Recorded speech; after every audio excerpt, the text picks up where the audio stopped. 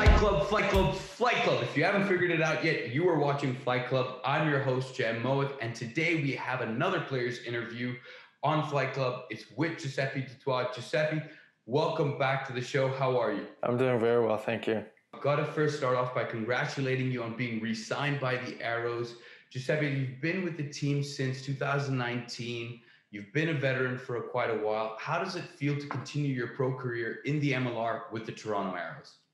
Yeah, I'm, I'm very excited. Toronto has become a very special place to me um, in terms of specifically just the, the people and, and the culture and, and the sort of vision that we have as an organization. And it's something that I've gotten behind.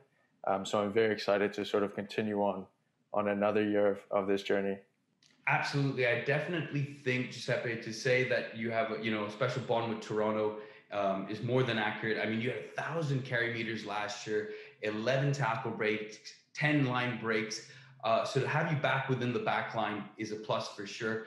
But uh, last off season, uh, Guiseppe, you had the chance to go see some of the beautiful national parks around North America with you and your friends and uh, teammates as well. Just tell us how important is a break away from the field to an athlete to help prepare themselves for the next season? Yeah, the, the break away from the, the environment is invaluable to sort of just refreshing your your body specifically, but but more importantly, your mind in prepping for another long, arduous season when we spent so much time together as a group in Atlanta.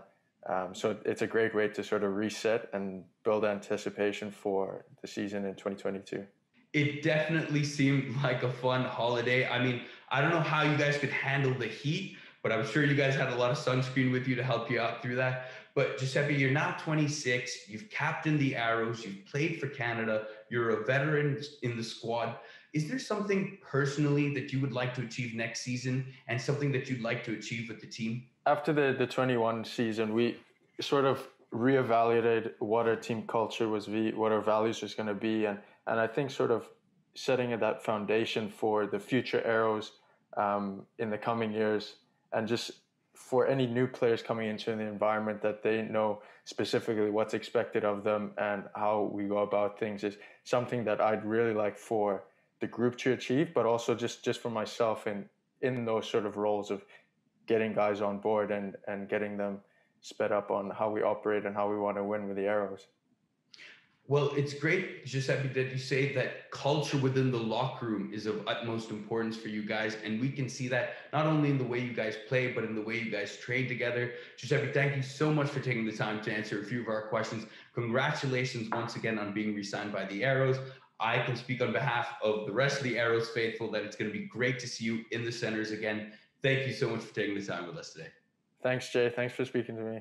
Arrows up.